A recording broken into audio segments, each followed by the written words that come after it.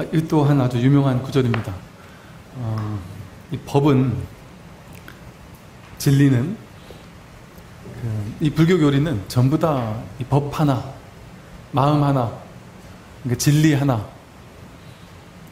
이 하나를 그냥 주구장창 모든 부처님 가르침이 전부 다 이 하나를 그 가리켜 보이고 있는 이야기예요. 그래서 보통 이제 처음에 불교 공부할 때는 아, 이 교리는 아 이렇게 이해하는 거구나. 저 교리는 저렇게 이해하는 거구나. 이 교리는 이 얘기구나. 아 저 교리는 저 얘기구나. 이제 이렇게 낱낱이 따로따로 해석을 하거든요. 근데 이제 음, 이 마음 하나를 확인하고 보면 전부 다 그냥 이 얘기구나. 전부 다 그냥 이 하나 얘기만 그냥 이렇게도 하고 저렇게도 하고 막 계속 정말 아이고 막 지겹다 싶을 정도로 그냥 얘기 하나 하나만 계속해서 얘기하고 있어요. 그러니까 이 불교를 공부할 때는 어, 이건 이거대로 이해하고 저건 저거대로 이해하고 이렇게 공부를 하면 이제 이거는 이제 어긋납니다. 오로지 그 공부 하나밖에 없다. 그래서 제가 불교 공부는 이제 참 쉽다. 예, 한 문제만 풀면 된다. 막, 열 문제, 백 문제, 유형이 다른 문제 막 풀고, 이 공식 가지고 대입하고 막 이럴 필요가 없다.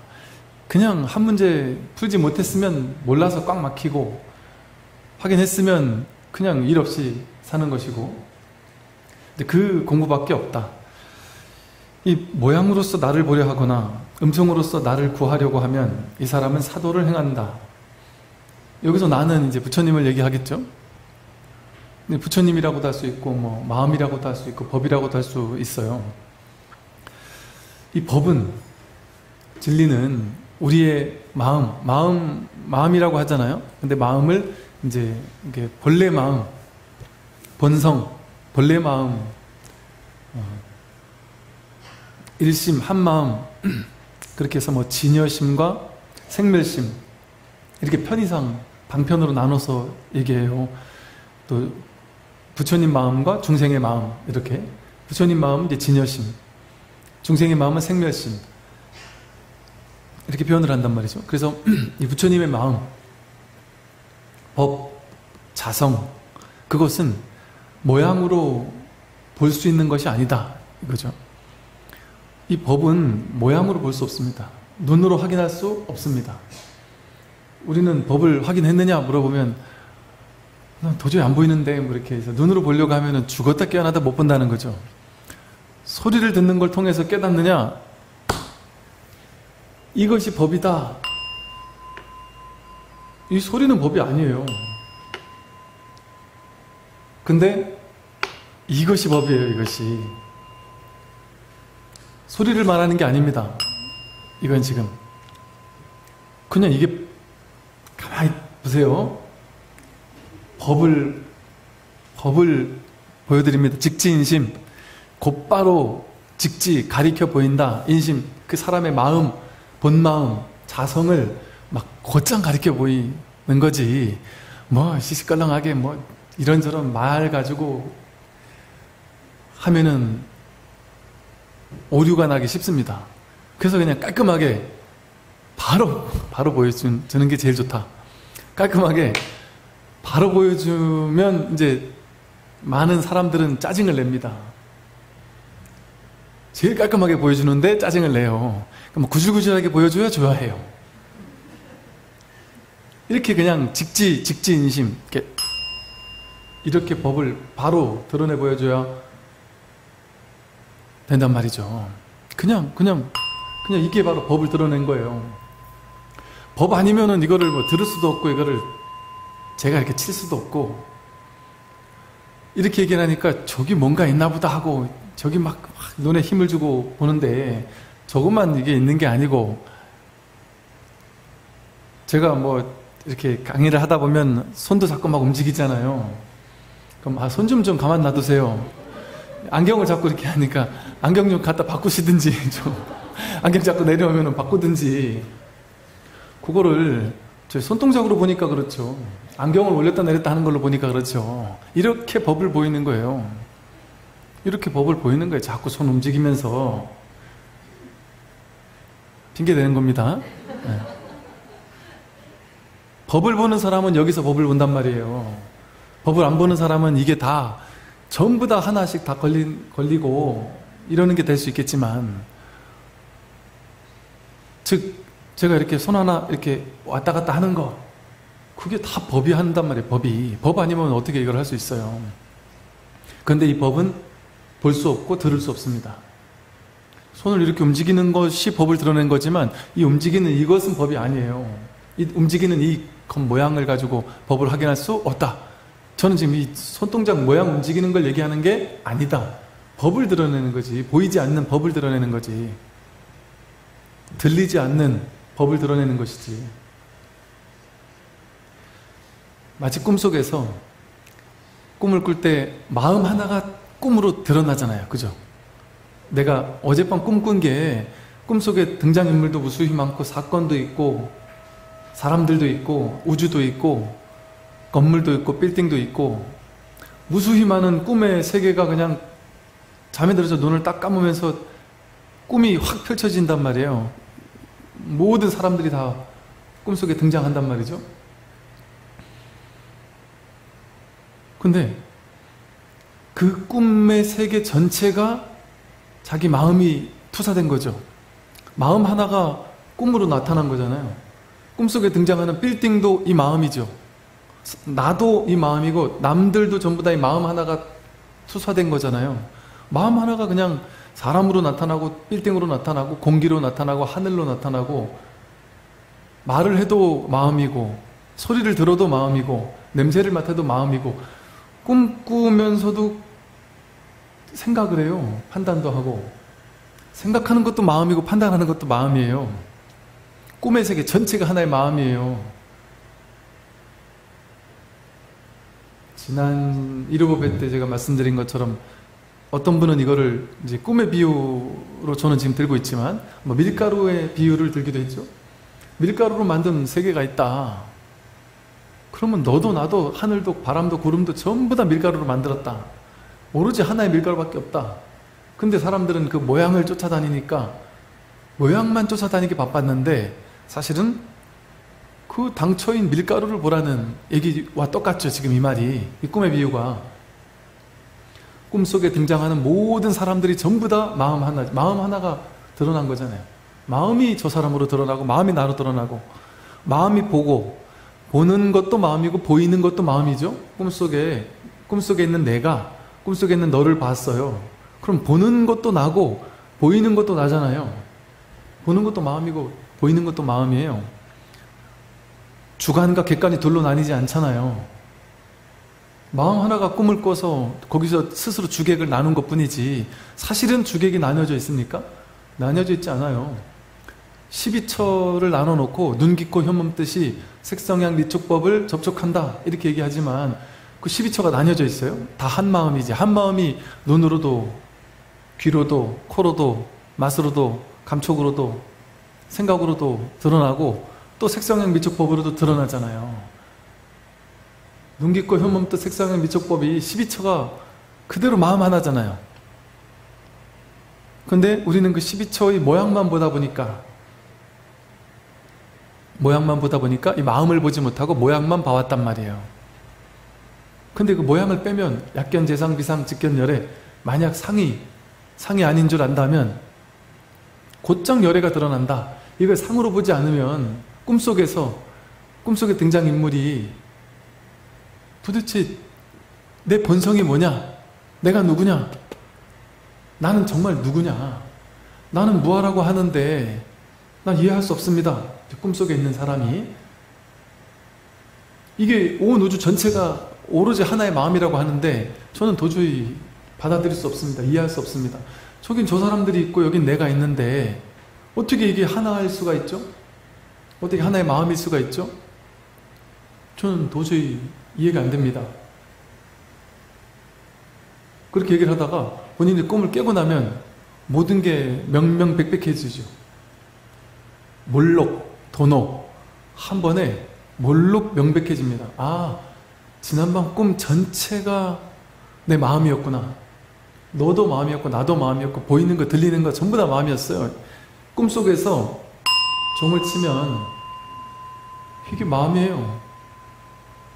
종을 치는 게 마음이고 종소리가 마음이고 종소리를 듣는 게 마음이고 종소리가 듣는 나도 마음이고 들리는 종소리도 마음이란 말이에요. 꿈속에서 제가 손을 흔들든 손가락을 들어 보이든 떡 앞에 잣나무라고 하든 꽥 하고 소리를 지르든 할 하고 소리를 지르든 도가 무엇입니까? 물어보는데 방망이로 한 대 때리든 때리는 게 이게 누가 하는 거예요? 마음이 하는 거예요 마음이 소리를 빽 지르는 게 누가 소리를 지르는 거예요? 마음이 소리를 지르는 거예요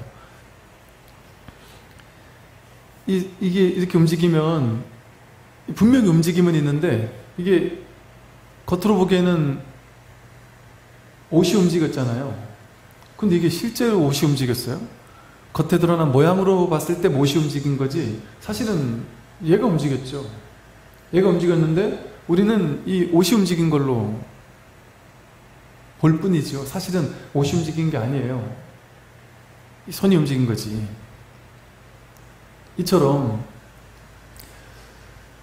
진울 스님의 그 수심결에 보면 내가 말하고 생각하고 행동하고 이 모든 것이 눈 껌뻑이고 이 모든 것이 전부 다 마음이 하는 것이다. 육체가 몸이 하는 게 아니다. 육체가 그거를 한다라고 한다면 우리가 지금 여기서 딱 죽고 나면 죽고 나도 눈을 뜨고 보고 듣고 맛보고 해야 될 텐데 몸이 하는 거면 내가 딱 죽자마자 몸은 육체는 그런 거 할 줄 할 수 없지 않느냐 그러니까 몸이 하는 게 아니다 우리는 이 몸이 나라고 생각하지만 몸이 진짜 내가 아니다 이 본래 면목이 이 마음이라고 이름 붙인 이것이 모든 걸 가능하게 한다.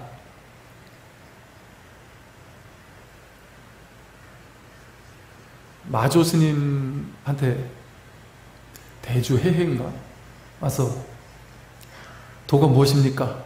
법이 무엇입니까? 물어보니까 너가 그렇게 묻는 그것이 법이다. 도가 무엇입니까? 이걸 누가 해요? 마음이 하는 거잖아요. 마음이. 마음 하나가 이 삼라만상 온 우주법계 전체를 만들어냈어요. 근데 이 마음은 보이는 거예요? 보여요? 어디 뇌에 들어있나요? 뭐 가슴에 들어있나요? 나한테만 있나요? 상대방한테는 없나요? 꿈속에서 꿈의 힌트를 한번 보세요. 꿈속에 있는 꿈에 꿈속에 우주가 있는데 꿈속에 펼쳐진 우주 전체가 마음이잖아요. 이, 이, 이 삶 전체가, 세상 전체가, 온 우주밖에 전체가 대기대용에 마음 하나가 이 온 우주를 굴리고 있는 거예요. 바람 부는 것도 마음이고, 숨 쉬는 것도 마음이고, 폭풍이 오는 것도 마음이고, 별이 무너지는 것도 마음이고, 마음 하나가 이걸 한단 말이에요. 근데 이 마음은 꿈속에서 그럼 그 마음 어떻게 생겼습니까? 그 마음을 보여주십시오. 이러면 어떻게 해야 돼요? 꿈속에서. 꿈속에서 내 꿈속에 스님이 나와서 마음을 깨달아야 돼. 이, 이건 너 아니야. 이 세상 이것도 다 너가 아니야. 그럼 마음이 뭡니까? 그때 스님이 그 이게, 이게 다 마음이야. 이게 다 마음이 지금 이렇게 너로도 나로도 드러났잖아. 우주로도 드러났잖아. 그래도 마음을 딱 곧바로 가르쳐 보여주세요 하면은 뭘 가르쳐 보여야 돼요? 이게 마음이라고 하든 이걸 마음이라고 하든 이렇게 들어 보여주든 아니면 소리를 뻑 지르든 한 대 때리든 전부 다 마음이 하는 거잖아요. 마음을 보여준 거잖아요. 종을 한번 치든 전부 다 마음, 마음을 드러내 보여준 거다. 일거수일투족 모든 것이 보이는 거, 들리는 거, 맛보는 거, 생각하는 거, 행동하는 거 전부 다 마음이 하는 거예요. 마음 하나가 한다. 근데 그 마음은 볼 수 없다. 볼 수 없습니다. 눈으로 볼 수, 눈으로 마음을 찾을 수 있겠어요? 꿈속에서 그 마음 전체를 어떻게 찾아요? 이 모양이 없는데. 들리는 뭔가가 아닌데. 그렇지만 보이는 걸로도 드러나고 들리는 걸로도 드러날 뿐이지. 그래서 이 법은 모양으로서 이 법을 보려 해도 안 되고 음성으로서 법을 구하려고 해도 안 되고 그렇게 하게 되면 이것은 사도를 행하는 거다. 능히 열애를 보지 못한다. 아, 나 깨달음 알았어. 내가 내 눈으로 똑똑히 봤어. 내 불성 나는 눈으로 똑똑히 봤어. 그 사도를 행한 사람입니다. 사도를 행한 사람. 나는 부처님의 음성을 들었어. 하나님의 소리를 내가 똑똑히 들었어. 사도를 행하는 사람이에요. 저도 옛날에 출가 처음에 출가하던 절에서 행자 행자님이 한 명 들어왔는데 이 행자님이 약간 좀 특이했어요. 그 행자님이 자기는 산매 속에서 수행을 하다 산매 속에서 부처님을 만났다는 거예요. 부처님 만나서 뭐 했냐고 물었더니 그 부처님이 나한테 수기를 주시고 뭐 이러다가 이제 나중에는 내 어지간한 하면 아 그렇습니까? 하고 말라 그랬는데 경전을 나한테 부촉해 줬다는 거예요 경전을. 그 경전 이름도 안 까먹고 있어요. 무슨 경전을 줬어요? 그랬더니 아 불설 지옥경이라는 경전을 나한테 줬다. 뭐 그래 얘기를 하더라고 하여간 받았겠지요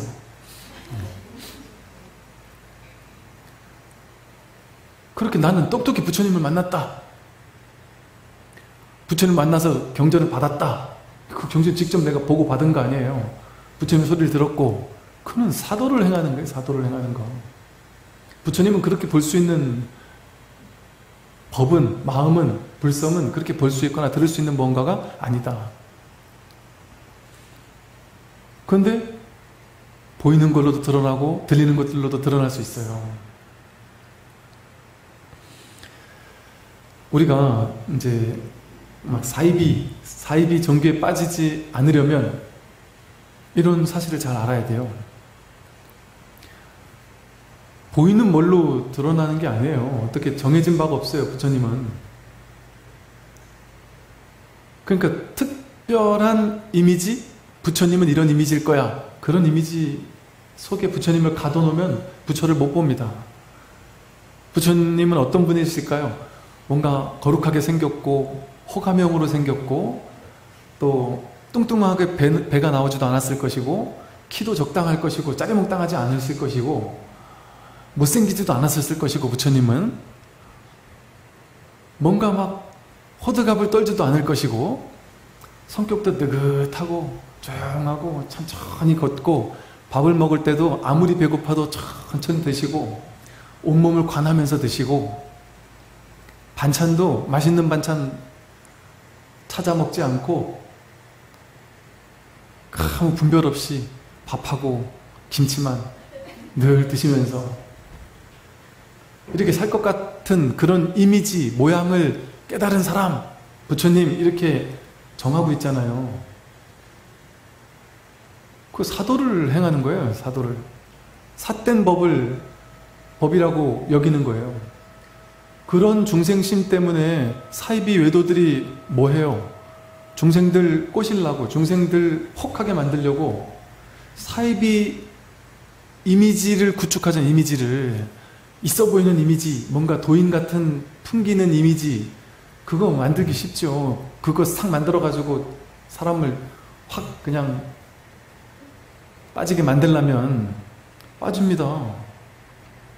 저 무슨 저 신 땡땡 하는 종교에서 그 사람 한 명 포섭하려고 몇 명이 시나리오를 만들어 가지고 그 사람한테 작업한다 그랬잖아요. 어, 저는 제가 간접적으로 누가 거기에 그렇게 당했다는 얘기를 들어서 저는 그때는 거짓말인 줄 알았어요. 야, 내가 그 종교, 그 조만한 종교에서 그렇게까지 정성을 들일까? 이 큰 종교, 불교란 이큰 종교에서도 한 사람 포교하려고 그렇게 쓰지 않는데 그 사람 하나 자기 종교로 포섭하려고 네다섯 명이 막 시나리오를 써가지고 막 우연인 것처럼 가장에서 뭘 만들어내고 막 이런다 되길래 이 사람이 약간 좀 이상하다는 생각이 했었다니까요. 그럴 리가 있나 설마. 착착 들어맞는 뭐 시나리오를 만들었는 거예요. 심지어 이제 미인계까지 써가면서 어, 그때 그 얘기를 그 사람이 하길래 저 사람 좀 저기 말이 돼? 누가 너 같은 사람한테 그렇게까지 신경을 쓰겠어. 아무리 다른 종교라도. 그렇게 생각했죠. 그러다 나중에 얘네들 하는 거라면서 이렇게 뭐 나온 걸 봤더니만 실제 그렇게 하더라고요.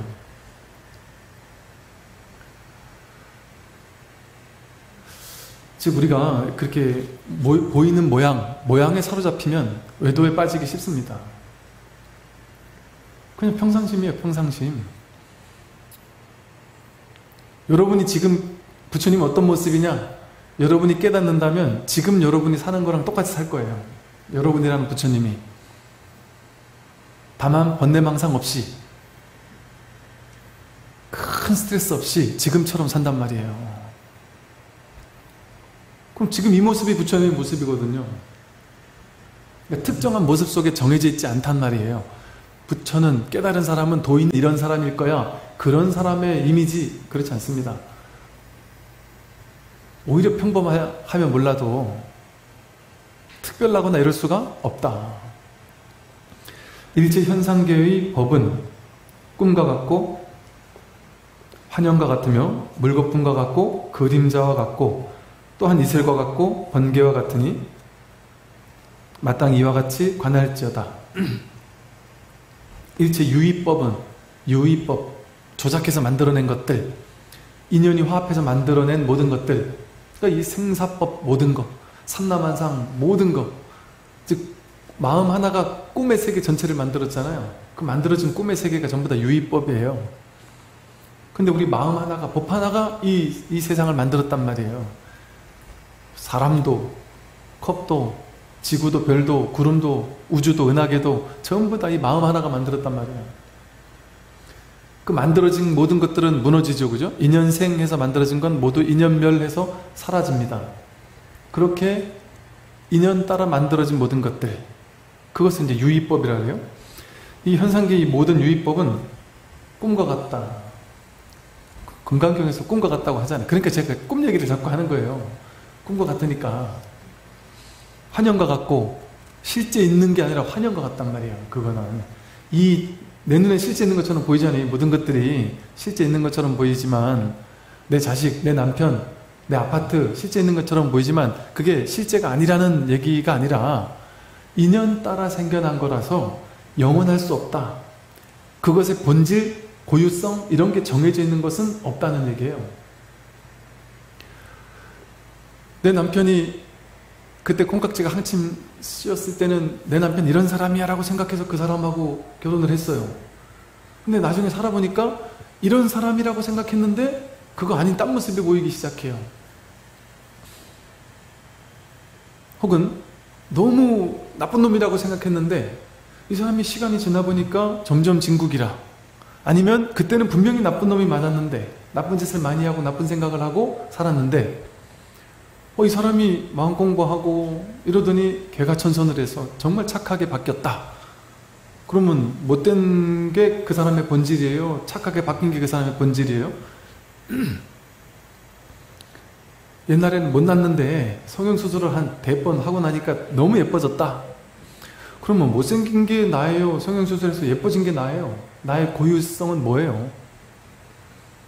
10대 때 내가 나예요? 지금의 내가 나예요? 저도 10대 때 잠깐 성, 유치원 때는 성당도 다녔었고 중학교 때 잠깐 교회도 다녔었거든요. 그럼 저의 정체성은 뭐예요? 성모 유치원 나왔어요. 저, 도 성당 유치원 나온 사람. 또 모 도시의 그 제일교회 나왔고 저도 그럼 저는 저의 정체성은 뭐예요? 그런 이 무아라는 것은 이 내가 없다라는 게 아니라 나라고 할 만한 어떤 고유한 자기 정체성이 정해진 게 없다는 소리예요. 그때는 그게 내 정체성이었지만 계속 바뀌는 거예요. 자기 정체성이라는 거는. 계속 바뀌어요. 계속 변해가고 어느 하나를 딱 정해서 이게 나야. 나의 정체성이야. 나의 고유성이야. 할 수 없습니다. 계속 바뀌니까. 그러면 성격이 나빴던 내가 성격 좋게 바뀌었으면 나는 성격 좋은 사람이에요. 지금. 지금 성격 좋게 바뀌었으니까 이게 나예요. 이게 나. 그러니까 굳이 굳이 말해본다면 옛날 이미 지나간 걸 가지고 그걸 나라고 붙잡아 둘 필요도 없다. 그런데 또 이거 가지고 이것만 나라고 할 수도 없어요. 그건 잠깐 지금 이것이 나로서 드러난 것에 불과하니까 난 또 어떻게 바뀔지 몰라요. 어떻게 바뀔지 알 수 없습니다. 과거심, 현재심, 미래심이 다 불가득이다. 어느 걸 가지고 나라고 할 수가 있느냐. 그러니까 정해진 고정된 실체라는 게 없습니다. 근데 우리는 그런 어떤 나라는 것이 있을 거라고 착각을 하고 있는 것이죠. 사실은 이게 다 환영과 같아요. 그래서 그래서 꿈과 같고 환영과 같고 물거품과 같고 그림자와 같다고 하는 거예요. 고유한 자기 정체성이라는 게 정해져 있지 않으니까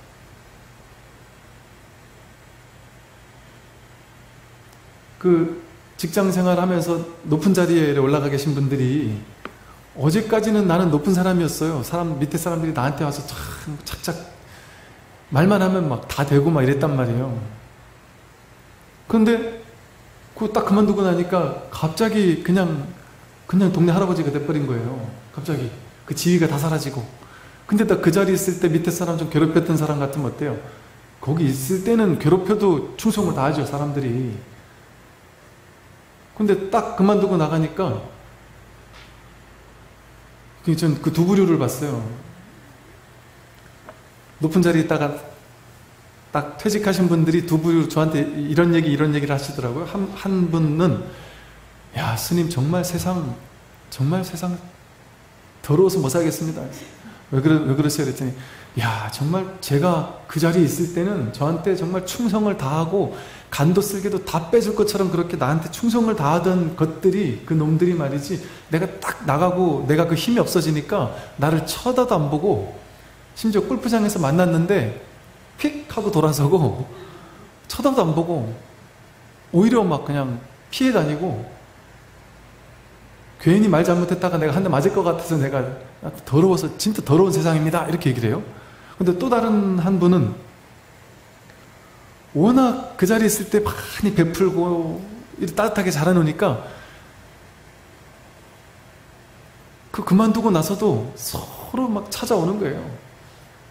그때는 제가 그, 그 자리에 계시니까 오히려 너무 고맙고 감사한데도 이걸 드리고 싶어서 드릴 수가 없었다. 이제는 자유인이 됐으니까 내가 나한테 이거 참 귀한 거라면서 선물도 갖다 주고 밥도 같이 먹자고 하고 이제는 좀 시간도 되시지 않습니까 하면서 자꾸 찾아오고 같이 뭐, 뭐, 뭐, 산에도 가자래고, 골프도 치러 가자래고, 막 그런다는 거예요. 그러니까, 이게 일 그만두고 나니까 더 바쁘다고. 이렇게 얘기하시는 분이 계셨어요, 제가. 그 앞에서는, 아이고, 그렇군요, 그렇군요 하고 말지만, 이렇게 얘기하는 분과 이렇게 얘기하는 분이 계시면, 야, 그럼 참, 어떻게 살았길래 이랬을까? 그런 게 보이는 거 아니에요? 그게 인간보죠. 근데 내가 그 자리에 있다고 해서 그 자리가 나의 정체성이 아닙니다. 그건 반드시 사라져요. 내가 높은 자리에 있다고 해서 그 높은 자리가 납니까? 잠깐 그 역할을 하는 거죠. 그 역할을 하는 거일 뿐이죠.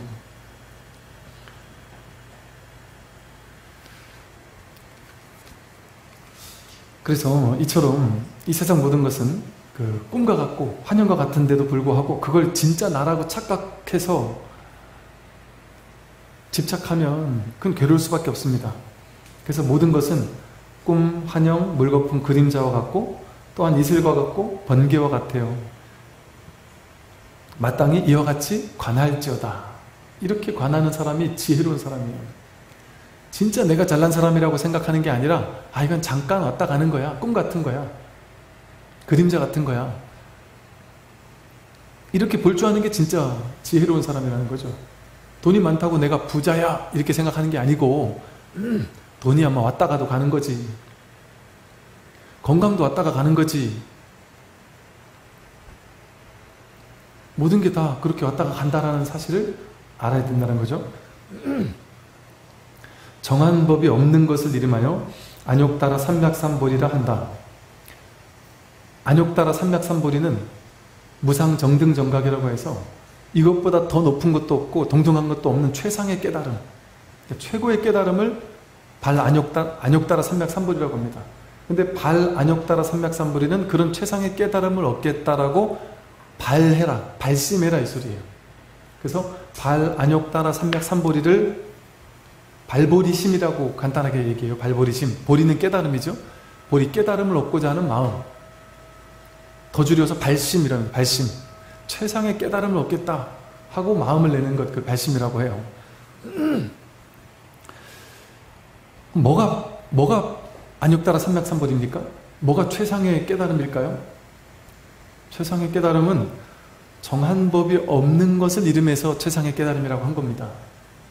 이게 최상의 깨달음이야 라고 정해진 게 있을까요? 이것만이 절대 진실이고 절대 깨달음이야 라고 정해진 뭔가가 없단 말이에요. 모양을 정해진 모양을 가지고 깨달음인지 아닌지를 판가름하려고 해서는 안 된다. 어떤 모습 속에 깨달음이 있는 게 아니기 때문에 정해진 모습 속에 없어요. 부처님이 있으려면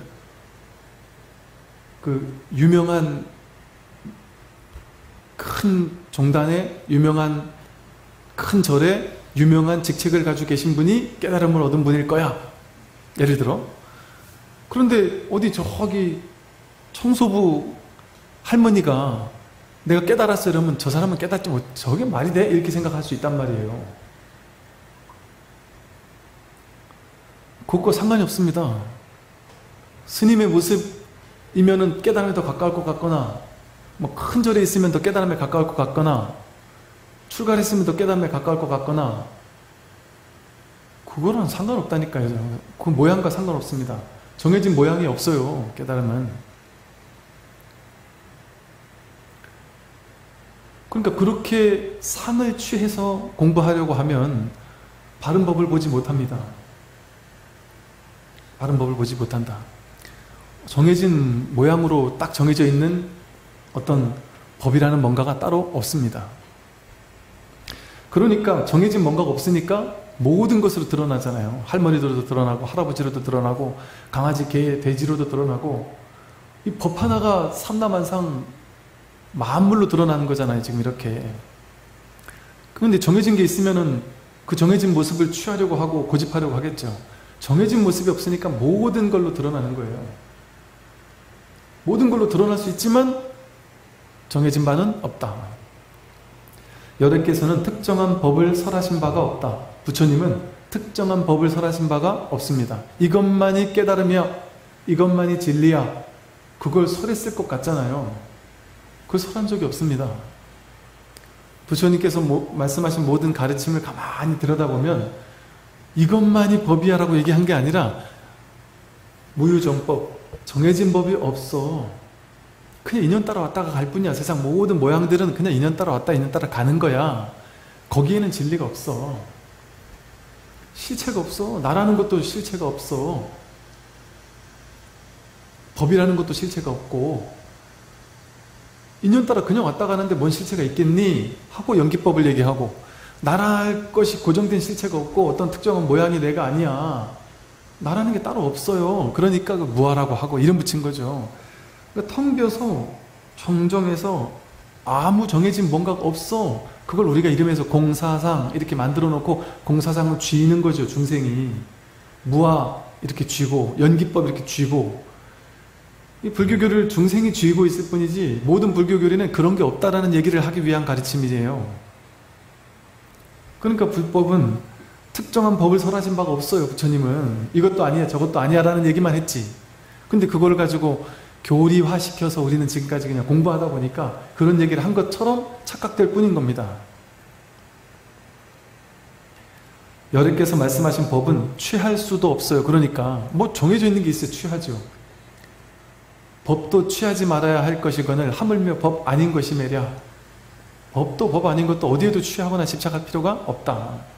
이 법은 취할 수도 없고 취해보세요. 뭘 취할 거예요? 어디 있어? 어디 보여야 취하죠. 꿈속에 등장인물이 꿈 전체를 취할, 어떻게 취할 수 있어요? 어떻게 붙잡을 수 있어요? 취할 수도 없고 말할 수도 없으며 법이라거나 법이 아니라고도 할 수 없다. 이건 말로도 표현할 수 없어요. 그러니까 이게 지금 법을 설하는 사람은 그 뭐 똥물을 끼얹는다는 표현처럼 참 스스로도 찝찝한 이야기를 하는 거예요. 왜 찝찝하냐? 한, 한 측면에서는 옳은데 한 측면에서는 옳지 않을 수밖에 없거든요. 모든 말은 말 속에 진리를 100% 담을 수 없습니다. 말은 세속제거든, 세속제. 참 진리가 아니에요. 그래서 말로 아무리 그럴싸하게 법을 설해도 그건 방편의 진리밖에 되지 못해요. 그래서 말로 표현된 모든 진리는 세속제다. 제일이제가 아니다. 완전 진짜 찐땡이 진리가 아니다 이 소리예요. 말로 그냥 그렇게 표현했을 뿐이다. 그러니까 사실은 제가 이렇게 많은 말을 하잖아요. 정말 할 말도 없는데 이렇게 많은 말을 하고 있단 말이에요. 그런데 한마디도 한 게 없는 거예요. 정말로. 정말로는. 왜냐면 다 뭐 쓸데없다리긴 뭐하지만 병이 있는 사람에게만 효과를 발휘하는 약을 나눠주고 있는 거예요. 근데 이제 저는 공개적으로 많은 사람에게 막 나눠주다 보니까 많은 사람에게 될 수 있으면 혜택이 돌아가는 방편, 약을 쓴단 말이에요. 그 사람 개인에게만 효과를 발휘하는 좀 너무 좀 강한 약이라도 그 사람 개인에게 딱 드는 약보다도 될 수 있으면 좀 오류가 좀 덜한 약을 쓰려고 노력을 하고 있으나 그런 약은 없어요. 그 완벽한 약이라는 건 없습니다. 이 말은 곧 말은 듣고 버릴 거예요. 뗏목의 비유처럼 말이라는 건 다 뗏목이에요. 뗏목. 강을 건너는 데만 필요해요. 건너고 나면 다 버려야 돼요. 제가 하는 말 붙잡아 집착할 필요가 없습니다. 그냥 강을 건너는 용도로만 쓰고 버려야 돼요.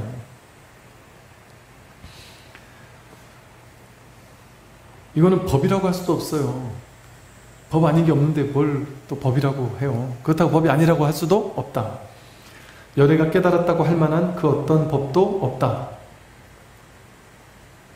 열애가 깨달았다고 할 만한 그 어떤 법도 없습니다. 이렇게 얘기하면 또 조심스러워져요. 왜 이런 얘기를 했겠어요? 아, 열애가 법을 깨달았어 하고 그 법에 집착하는 사람에게 그 법에 집착하는 마음을 깨주기 위해서 열애는 깨달았다고 할 만한 어떤 법도 없다라는 방편을 또 썼단 말이에요. 그러면 또 어떤 사람은 이 얘기만 듣고 야 부처님 법을 안 깨달았대. 경전에 나왔어 경전에. 이렇게 얘기한단 말이에요. 성철 스님이 저 열반계로 자세 기억은 안 나는데 뭐 일평생 뭐 중생을 속여서 뭐 어쩌고저쩌고 하는 얘기 썼단 말이에요. 그때 그걸 가지고 불교를 폄훼하고자 하는 사람들 중에는 그거 봐라 성철 스님도 자기가 죽기 전에 자백하고 실토하지 않았냐? 평생 사람들 중생 속였다고. 그리고 손오록에서 어디서 이걸 구해가지고 한 구절만 따가지고 부처님도 본인이 못 깨달았다고 하지 않느냐? 이렇게 얘기를 한단 말이에요 그래서 불교의 모든 가르침은 음, 그, 그 얘기만 하나 딱 따가지고 이렇게 이렇게 얘기할 수 없어요. 그렇게 하면은 진짜 이상해져 버려요. 정말 충격적인 얘기도 많이 하잖아요. 불교 경전에 보면 부처도 죽이고 조사도 죽여라 이런 얘기를 한단 말이에요. 수보리야 열애가 얻은 바 안욕 따라 삼맥삼보리는 실다움도 없고 헛됨도 없다. 이 법은 실다움도 없고 그렇다고 헛됨도 없습니다.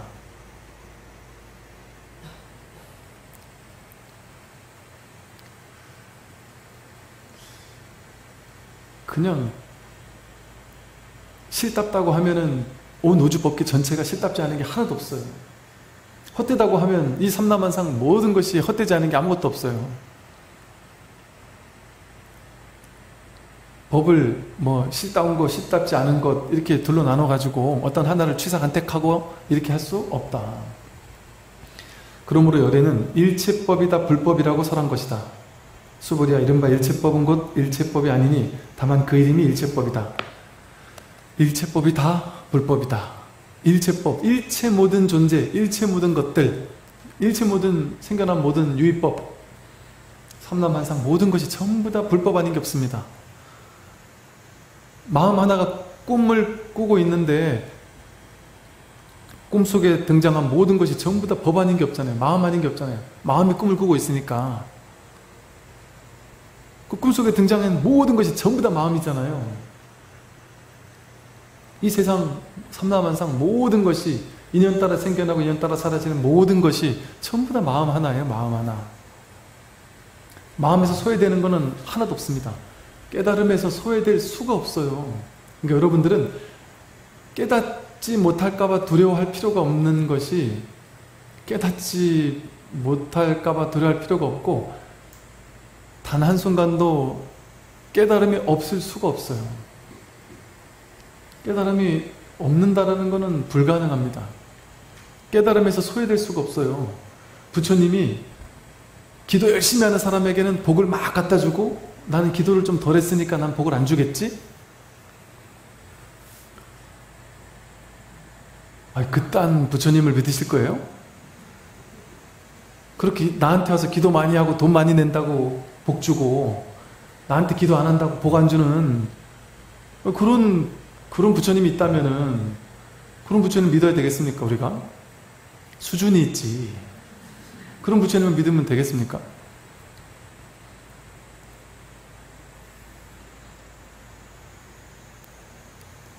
이제 곧 수능 백일 기도가 시작되는데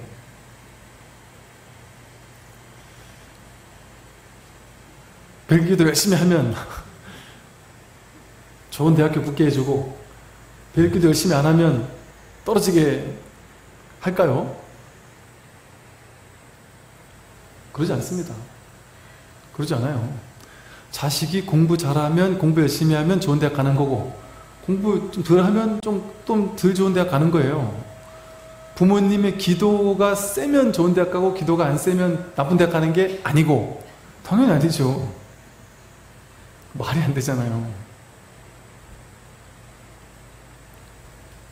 그렇다고 뭐 효과가 전혀 없다라고 얘기하기에는 어, 전혀 없다고 얘기하기에는 어, 저 스스로도 전혀 없다라는 말을 하고 싶을 수, 에,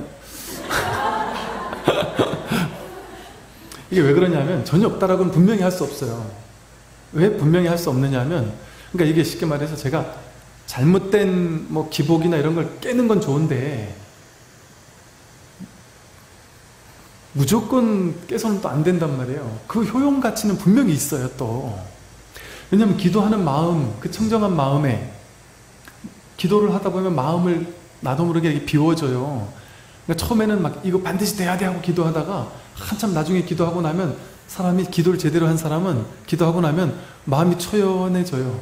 그 전에 처음 시작할 때는 이거 안 되면 큰일 나는 줄 알고 기도했다가 나중에 계속 기도하다 보면 그 마음이 비워져서 아, 그럼 뭐 돼도 돼 좋고 안 돼도 좋고 큰 상관없네. 마음이 비워진단 말이에요. 저절로.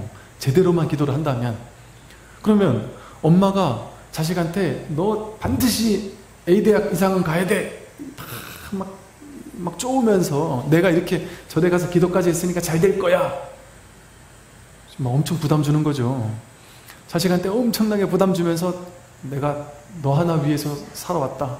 정말 넌 나의 희망이고 빛이고 생명이야. 너 아니면 내가 이런 짓을 뭐하러 하겠니? 이거 자식 엄청 스트레스 주는 거죠.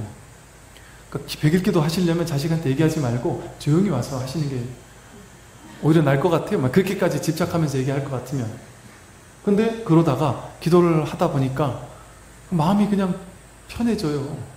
절에 자꾸 와서 절에 이게 비움에 공부를 하고 그러다 보니까 집착이 내려놔져요.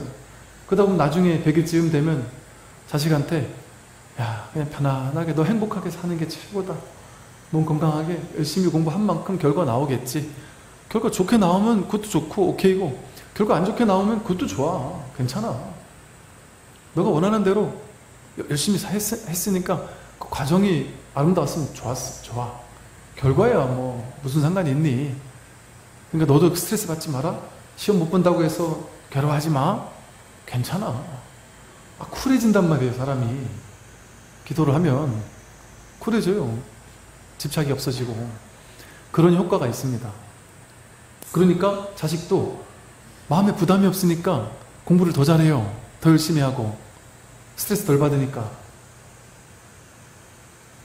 그렇게 있는 듯 없는 듯 support 해주는 게 가장 좋은 거죠. 옛날에 뭐, 뭐, 저, 노자 같은 데도 보면은 임금이 제일 좋은 임금은 임금이 있는지도 없는지도 모르는 그 정도로 그냥 그게 진짜 좋은 임금이라고 하듯이 뭔가 막 내가 이거 했다 저거 했다 막 이러는 것보다 그런 어떤 뭐랄까 여러 가지 그 말고도 여러 가지 또 분명히 그 효과가 있을 수 있어요. 근데 다만 그 의도가 너무 기복적으로 뭐 반드시 이 기도하면 반드시 원하는 걸 이룰 수 있습니다. 뭐 성취할 수 있습니다. 이렇게만 이제 기도를 하게 된다면 그거는 그야말로 방편에 사로잡혀서 그렇게 안 되면 어떨 건데요. 반드시 기도하면 이루어집니다. 이렇게 했는데 안 이루어지면 어쩔 거예요. 반드시 이루어집니까? 물론 절이든 교회든 가면은 반드시 절대 이루어집니다. 이러는 데도 있어요. 진짜 이루어졌어요? 반드시 어떻게 이루어져요? 반드시 안 이루어져요. 이루어지는 것도 있고 이루어지지 않는 것도 있어요. 당연히. 그러니까 그렇게 사기치면 안 되는 거죠. 무조건 여기서 내가 시킨 대로 기도하면 무조건 이루어진다. 어, 제 안목으로 봐서는 그건 사기예요. 사기. 물론 이제 방편으로 중생들한테 막 이렇게 해서 그렇게 얘기한 다음에 뭐 하려고 하는지는 모르겠어요. 뭐 그러니까 사기 아닐 수도 있, 겠다 그 나름대로 뭐 또 뜻이 있어서 그랬을 수도 있겠죠. 워낙 어리석은 뭐 그분 보기 어리석은 무지몽매한 중생들을 꼬드겨서 이렇게 오게 한 다음에 나중에 참된 법을 설해 주시려고 그러실 수도 있겠죠. 그러니까 사실은 진짜 나쁜 놈들은 없어요. 사실. 저도 제가 이제 종교지만 사람들이 종교육 많이 하잖아요. 근데 제가 이게 우리 스님들이 이렇게 만나뵈면 겉으로 봤을 때 이건 좀 아니다 싶은 거 하는 분도 계시긴 해요.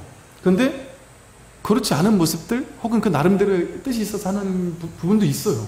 그러다 보니까 제가 그런 걸 보면서 아 이렇게 너무 단정적으로 얘기하면 안 되겠다라는 생각들이 많이 들더라고요. 아무리 옳은 것도 그걸 단정적으로 이렇다고 얘기하면 안 되거든요. 네. 그래서 더구나 이렇게 공개적으로는 이제 뭐 그런 정 애매한 거는 사적으로 물어보세요. 그럼 제가 얘기를 해드리지만 네, 공개적으로는 음, 그래서 일체법이 다 불법입니다. 불법 아닌 게 없어요. 일체시 일체처에 법 아닌 것이 없습니다. 진리 아닌 것이 없습니다. 저 많은 국토 가운데 있는 모든 중생의 각가지 마음을 열애는 다 안다. 왜냐하면 열애가 말하는 모든 마음은 마음이 아니라 그 이름이 마음이기 때문이다. 그 까닭의 수보리야 과거의 마음도 얻을 수 없고 현재의 마음도 얻을 수 없으며 미래의 마음도 가히 얻을 수 없다. 저 많은 국토 가운데 이 무수히 많은 국토에 있는 일체 모든 중생들의 각가지 마음을 부처님은 다 안다. 그렇지. 부처님 이 정도는 돼야지. 부처님이 내 마음을 다 알아야지. 이렇게 이제 우리는 생각해서 그러면 이 말을 들어보니까 내가 절에 가서 기도하는 보람이 있네. 내가 열심히 기도한 부처님 이 마음을 다 알 거 아니야. 우리는 이렇게 해석을 한단 말이에요. 근데 모든 국토에 있는 중생의 마음을 부처님이 왜 다 알까요? 다 한 마음이니까. 마음 하나밖에 없으니까. 마음은 네 마음, 내 마음 따로 떨어져 있는 마음이 없어요. 다 하나의 마음밖에 없어요. 완전히. 자기가 자기를 모르겠어요? 그러니까 우리는 이, 이 한마음이라는 이 본래의 자리에서는 하나로 완전히 연결되어 있기 때문에 사실 뭐 안다, 안다라는 것도 방편으로 하는 말이죠. 안다, 모른다 할 수 없이 그냥 하나예요. 그렇게 얘기하면 이제 아 마음이라는 뭔가가 정말 우리는 마음으로 뭔가 이렇게 뭐 연결돼 있고 어쩌고 저쩌고 하면서 그 마음을 그림 그린단 말이에요. 모양을 그린단 말이죠. 그, 그렇게 모양으로 그리면 그건 이 마음이 아닙니다. 마음은 그냥 이름을 마음이라고 이름 붙였을 뿐이지 그 이름이 마음일 뿐이지 마음이라는 어떤 고정된 실체적인 뭔가가 없어요. 우리 머리로 그림 그릴 이미지 그려서 이게 마음이야 이게 불성이야 이게 자성이야 라고 그림 그려서 딱 정리해 놓고 아난 불교를 이해했어. 그건 불교를 이해한 게 아닙니다. 그렇게 불교를 이해해도 뭐 상관은 없겠습니다만 내가 시원해지지가 않아요. 고에서 벗어나지가 않아요. 그렇게 이해만 해가지고는. 그래서 마음을 모르겠다 하는 게 정답이에요. 모를 뿐 하는 게 정답이에요. 마음을 막 용을 써가지고 머릿속에 이미지로 딱 그려놓고 이게 마음이야 하고 그걸 딱 쥐고 있으면 그거는 틀렸단 말이에요. 마음은 모를 뿐이에요. 모를 뿐. 그 마음은 어디서도 얻을 수가 없어요. 과거의 마음도 현재의 마음도 미래의 마음도 얻을 수 없습니다. 정해진 뭔가가 없으니까. 정해진 뭔가가 없기 때문에. 옛날, 그러니까 옛날에 내가 마음을 가지고 이 일도 하고 저 일도 하고 온갖 중생심을 가지고 온갖 일들을 했다. 그 지금까지 그 마음을 가지고 상처받고 있거나 지금까지 뭔가 뿌듯해 하거나 그 자기 생각이 만든 망상이에요. 그 과거의 마음 얻을 수 없습니다. 이미 지나갔는데 어떻게 있어요? 이 소리가 조금 전에 까지 있었다가 사라졌잖아요. 끝났어요. 어디, 어디서 찾아볼 수 있습니까? 이 소리를? 이 실체를 어디서 찾아볼 수 있어요? 이처럼 인연 따라 왔다가 가고 난 모든 것은 없어요. 이 세상 어디를 가봐도 없어요. 생겨나고 사라지고 끝나버렸어요. 근데 우리가 마음으로 옛날에 누구한테 욕먹은 그거에 사로잡혀서 아직까지 상처받고 있고 누군가를 증오하고 있고 죄의식에 사로잡혀 있고 과거심 불가득이라 죄의식이 붙을 자리가 없는데 그걸 내 스스로 의식으로 붙잡아 놓는 거예요. 그리고 그걸 실제화시키고 없는 걸 있는 것처럼 조작해서 만들어 놓은 거예요. 그게 유의 조작이라 그래요. 그러니까 우리의 모든 괴로움은 내가 조작해서 만들어 놓은 거예요. 실제 있는 괴로움이 아니고 지나간 모든 과거 심도 얻을 수 없고 앞으로 올 미래 내가 죽거나 어떻게 될까? 가난해지면 어떻게 될까? 이 일이 잘못되면 어떻게 될까? 이거 얻을 수 없어요. 그런 일이 없어요. 근데 현재 지금 이 마음도 마찬가지예요. 얻을 수 없습니다. 어떤 마음을 딱 집어가지고 지금 현재 이 마음이라고 할 거예요.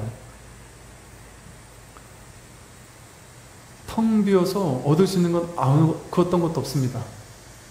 근데 내가 생각으로 붙잡아서 과거의 어떤 생각, 미래의 어떤 두려움, 지금 일어난 어떤 한 마음, 한 생각을 딱 잡아가지고 쥐어가지고 그 생각에 실체화시키고 그 생각 때문에 세상이 나를 괴롭힌다고 착각하고 전부 다 생각이 만든 거예요, 생각이. 그러니까 이게 우리가 이 생각이 만든 거에 너무 많이 빠지는 게 하다못해 여러분 그러잖아요. 여러분 그냥 이렇게 있다가 어 갑자기 몸에 어디가 막 아파졌어요. 어디가 뭔가 좀 증세가 안 좋아요. 근데 신문 기사 보니까 어 그런 증세가 반복되면 뭐 어쩌고저쩌고 뭐 큰 병이다. 그 죽을 수도 있는 큰 병일 수도 있다. 뭐 이제 예를 들어 이런 걸 들었다거나 여러분 그 TV에 이제 무슨 무슨 다양한 방송들 보면 무슨 닥터 뭐 해서 뭐 의사 뭐 어디 건강하게 하는 이런 TV 프로 많잖아요. 모든 병들을 돌아가면서 이제 하나씩 프로그램을 하잖아요. 근데 그거를 매주 그것만 보고 앉아있으면 어떻게 돼요? 가만히 들어보면 전부 다 나한테도 조금씩 있는 거예요. 나한테도 조금씩 조금 나도 약간 저런데 나도 약간 저런데 하는 게 거의 다 있어요. 근데 그런 걸 딱 듣고 나서 내가 몸이 조금 아픈 걸 보고서는 어? 이게 혹시 저 병 아니야? 이렇게 해서 나, 나 큰 병 걸려서 곧장 죽는 거 아니야? 이러다 나 큰일 나는 거 아니야? 이런 한 생각이 딱 올라옵니다. 이게 되게 자연스러운 생각이죠. 누구나 올라오죠. 그 한 생각이 딱 올라와요. 그때 이 마음 공부하는 사람은 아, 작작 좀 해라 좀. 야씨 50년, 60년, 70년 동안 이 올라와가지고 나를 나를 못 살게 굴었으면 됐지. 나 마음 공부하는 사람이야. 너한테 그렇게 옛, 날에 내가 아니야.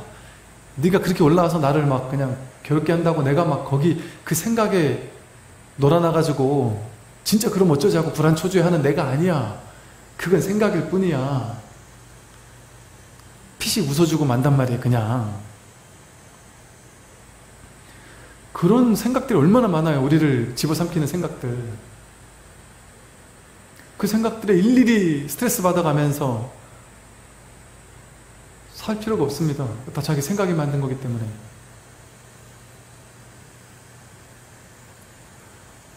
막상 현실의 병이 진짜 오면 어쩔 건데요. 진짜 왔다. 그럼 그때 아프면 돼요. 그때. 두 번, 세 번, 네 번, 두 번째 화살, 세 번째 화살, 네 번째 화살을 막 맨날 맞고 있을 필요가 없어요. 병은 어차피 올 거거든요. 죽음도 어차피 올 것이고, 늙음도 어차피 올 거예요. 그걸 보고 그냥 내가 써먹으면 되죠. 예를 들어, 아, 내가 좀 더 운동을 좀 해야 되겠다. 좀 더 좋은 음식을 먹어야 되겠다. 좀 더 내가 건강하게 살아야 되겠다. 이렇게 가볍게 마음을 바꾸는 건 좋죠. 그걸 통해서. 그러나 거기 막 사로잡혀서 노이로제가 걸려요. 그러다가 사람들이. 그런 게 워낙 그 생각이 반복, 반복 두 번, 세 번, 네 번 반복되잖아요. 그럼 그게 이제 병이 돼요. 장애가 되고, 무슨 강박장애가 되고, 불안장애, 초조장애가 된단 말이에요. 그러니까 멀쩡한 연예인들이 무슨 강박장애가 있고 이런다는 게 나를 쫓아다니는 저 뭐라 그러죠? 막 쫓아다니는 연예인들 쫓아다니는 스토커들이 나를 공격할지도 몰라. 그 자기 생각이겠잖아요. 그 생각을 자꾸 강화시키다가 강박장애가 일어나기도 하고 대인 기피가 일어나기도 하고 윗집에서 꿍꿍 뛰는 것 때문에 스트레스 받는 게 한 번, 두 번, 세 번 반복되면 그 생각에 스스로 노예가 돼가지고 이게 정신병으로 올 수도 있단 말이에요. 거대한 처음엔 생각에 불과했는데 거기 힘을 실어주기 시작하면 그게 거대한 공룡이 되어서 나를 집어 삼켜요. 나를 잡아먹어버려요. 근데 이 마음 공부를 하면 그냥 피시 웃어버리는 거예요. 그게 그냥 생각일 뿐이다. 그냥 여유있게 웃어주고 말, 말면 돼요. 그냥 가짱게. 한두 번도 아니고 참 너도 대단하다. 너도 참, 참 지겹게 올라온다. 죽을 때까지 올라올 거예요 아마. 근데 그때마다 심각, 심각함에 빠져버리면은 내가 못 살아요. 그때마다 웃어주세요. 그냥 웃어 넘기세요. 뭐 고마해라 할 필요도 없어요. 그냥 그게 지 일이니까. 넌 네 일을 해라. 난 내 길을 간다. 그거 가지고 막 붙잡고 싸울 필요도 없는 거죠.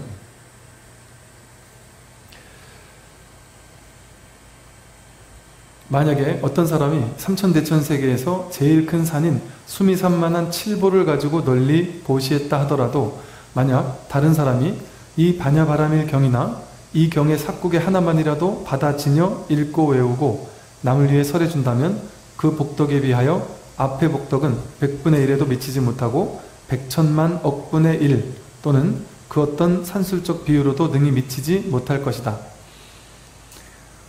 무수히 많은 칠보, 뭐 금, 뭐 다이아몬드 같은 어마어마하게 값지고 귀한 보석을 가지고 삼천 대천 세계 전체를 보시했다고 하더라도 이 경전의 가르침, 진리가 담겨 있는 가르침, 사쿠계라 그래요. 사쿠계 가르침 하나만이라도 받아 지녀서 내가 받아서 이걸 내가 지니고 읽고 외우고 남들을 위해서 가르쳐 준다면 그 복덕에 비하면 이 마음 공부하는 복덕에 비하면 금은 보화를 가지고 온 세상 모든 사람에게 나눠주는 그 복덕은 백분의 일에도 미치지 못하고 백천만 억분의 일 또는 그 어떤 산수적 비유로도 미치지 못한다.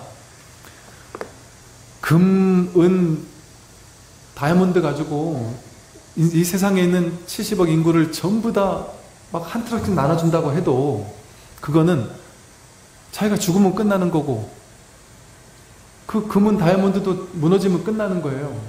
유한한 거예요. 제한되는 거예요. 그게 나한테 줄 수 있는 거는 잠깐 배부르게 뭘 돈으로 바꿔서 사먹는다든지 이런 걸 줄 수는 있겠지만 그래 봐야 늙고 병들고 죽는 거는 해결해 주지 못해요. 전 세계 모든 사람한테 천억씩 준다고 해도 그, 그 사람들의 괴로움을 해결해 주겠습니까? 남편과 아내가 둘이 사이가 안 좋은데 천억이 있다고 해서 안 싸우겠어요? 늙고 병들고 죽지 않겠습니까?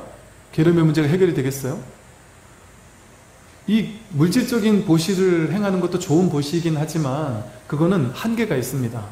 근데 이 사구계를 공부한다, 경전을 공부한다, 마음 공부를 한다 하는 것은 생사를 해탈하는 공부예요. 늙고 병들고 죽는 문제, 근원적인 문제에서 벗어나는 공부예요. 이거는 너무 아무것도 아닌 공부이지만 전부예요, 전부. 그래서 이 두 가지가 동시에, 동시에 정말 그렇구나, 그렇구나. 아무것도 아닌, 다 가지고 있는 걸 아무것도 아니구나 싶은데 한편에서, 한쪽 측면에서는. 그런데 이게, 이게 전부구나. 생사 해탈이 별게 아닌 거예요. 이 자리에 와버리면, 늙고 병들고 죽는 문제가 괴로움이 아니에요. 죽는 문제가 전혀 괴로움이 아니에요. 자연스러운 일이지. 내가 죽는 문제도 별 문제가 아니라니까요. 근데 사랑하는 사람이 죽는 거는 뭐 별 문제겠어요? 어차피 다 죽어야 될 건데 어차피 100년도 안 되는 그 짧은 시간 안에 어떻게 죽든 다 죽을 거 아니겠어요? 그게 뭐 그렇게 대수입니까? 법을 모르면 대수죠. 어마어마하게 충격적인 일이죠. 내가 늙고 병들고 죽는 거는 심각한 일이죠. 근데 이 아무것도 아닌 늘 우리가 쓰고 있는 이 법을 확인하고 나면 이 몸이 내가 아니고 이 법이 나구나 라는 사실을 자각하고 나면 몸뚱이가 죽는 거는 뭐 봄, 여름, 가을, 겨울 나무가 울창했다가 여름에 울창했다가 가을에 단풍 들었다가 낙엽 떨어지는 거랑 똑같아요. 자연스러운 삶에 있친 거예요. 그러니까 돈 버는 문제는 평생 그 해봐야 뭐 답도 안 나오고 답이 나올 것 같으면 돈에 목숨 걸어야 되지만 이 세상에 돈에 목숨 안 거는 사람이 어디 있어요? 근데 부자 되는 사람 별로 없거든요. 노력하지 말라는 것이 아니라 최선을 다하긴 하지만 실제 돈이 벌리고 안 벌리고는 내 문제가 아니에요. 내 마음 낸다고 100% 해결이 안 돼요. 돈 벌고 안 벌고 하는 문제는. 기도한다고 막 무조건 부자가 되느냐? 안 그렇습니다. 그런데 돈이 많고 적음을 뛰어넘을 수는 있어요. 그거는 내가, 내가 가능해요. 돈을 많이 버느냐 못 버느냐 이건 내, 내 마음대로 안 되는데 돈, 돈을 초월하는 건 내가 할 수 있어요. 여러분 죽었다 깨어나도 죽어요. 아니, 죽는 일은 벗어날 수 없어요. 그죠? 아무리 내가 수조원이 있어도 그 돈 가지고 아무리 비싸고 귀한 음식을 사 먹고 막 서울대 뭐 전 세계 최고 가는 의사들을 내 주치의로 갖다 놓고 좋은 음식을 먹고 해도 죽어요. 죽을 때 되면 그 어마어마한 무시한 유명한 의사들 수백 명이 그 사람의 생명 1분도 연장 못 시킬 수도 있어요. 그런데 여러분 그건 못한단 말이에요. 내가 늙고 병들고 죽는 걸 없애는 건 못해요. 그런데 늙고 병들고 죽는 것을 뛰어넘는 일은 할 수 있어요. 불생불멸의 법을 깨닫는 일을 할 수 있어요. 그럼 뭘 하실 거예요? 내가 돈 많이 벌어서 1분도 연장 못 시키는 아 이거 좀 심하지만 조금 연장시킬 수는 있겠지만 그 인연이 다 하면 어쩔 수가 없거든요. 그러니까 그런 유한한 거, 제한된 거 거기에 목숨 걸고 살아야 되겠느냐 이 생사를 해결하는 공부를 해야 되잖아요. 여러분 아, 여러분들이 지금 이렇게 보기에는 어디죠? 부산 귀퉁이에 이, 여기는 절이 또 워낙 또 커서 뭐 허름한 절이란 말은 못하겠네요. 예, 제 절은 아니지만 이, 이, 이, 귀퉁이에 있는 조만한 절 하나에 우리가 이렇게 모여서 그냥 공부를 하고 있는 거잖아요. 이, 이렇게 많은 세상 사람들 가운데 이 공부하는 사람들이 한계가 있잖아요. 저 길거리 사거리만 나가도 이거보다 더 많은 사람들이 왔다 갔다 하는데 이 공부를 하는 사람들은 제한되어 있어요. 여러분은 어, 이, 이 마음 공부하고 이 부처님 공부에 내가 발심을 한 사람은요 그냥 남들보다 조금 낫다? 뭐, 아, 이런 게 아니에요. 여러분 지금 여기 와서 법문을 들으려고 이 무더운 여름날 8월 제일 무더움의 한가운데 있는 휴가 시즌에 비까지 오고 하는데 이런 시기에 이 더운데도 불구하고 문도 열어놓고 에어컨도 안 틀어주는데 땀을 뿌질뿌질 흘리면서 여기까지 와서 법문을 들으려고 하는 그 마음이 옛날에도 있었어요? 지금 이 귀한 마음을 여러분들이 지금 갖추고 있잖아요. 이거는요, 아, 말로 표현할 수 없는 복덕과 지혜가 구족된 그런 그런 사람들 아니면 불가능한 인연이에요, 사실은. 여러분 보기에는 뭐, 저 밖에 있는 사람들이나 여러분이나 별 차이 없어 보이지만, 법의 입장에서 보면, 이 법의 흐름에 든 자와, 이 아직 중생의 흐름 속에서 헤매면서 있는 사람들은, 그냥 차원이 다른 게 아니에요. 이건 뭐, 여기서 말하듯이 이렇게, 칠보, 금은 보화를 더 많이 가졌냐, 적게 가졌냐, 이 문제가 아니에요. 쉽게 말해 금강경에서 지금 비유하듯이 여러분은 저 바깥에 이 깨달음이 뭔지 공부가 뭔지를 모르고 사는 사람에 비한다면 칠보를 삼천 대천 세계를 가득 채울 만한 칠보를 다 갖추고 있는 사람보다 수백 배 수천 배 산술적 비유로도 얘기할 수 없는 수억 수조 배 이상 가는 복덕을 구족한 사람들인 거예요. 제, 제가 하는 허튼 소리가 아니잖아요. 경전에 그렇게 나오는 말이잖아요. 우리 마음 공부와의 인연은 이건 참으로 희유한 일이에요. 정말 너무나도 희유한 일이에요. 여러분은 이 희유한 인연과 인연이 맞았으니까 그냥 이게 별것 아니라고 생각하죠. 이게 원래 원래 흔하면 값어치를 몰라요 본인이 흔하면 그래서 그게 조금 조심스러운 거예요. 내가 늘 절에 나올 수 있고 늘 법문 들을 수 있으니까 좀 덜 열심히 듣게 돼요. 근데 정말 이게 귀한 줄 알면 정말 이 공부를 대충 할 수가 없습니다. 놀라운 공부예요. 여기까지 하고 그 다음에 이제 다음 경전으로 넘어가겠습니다. 예,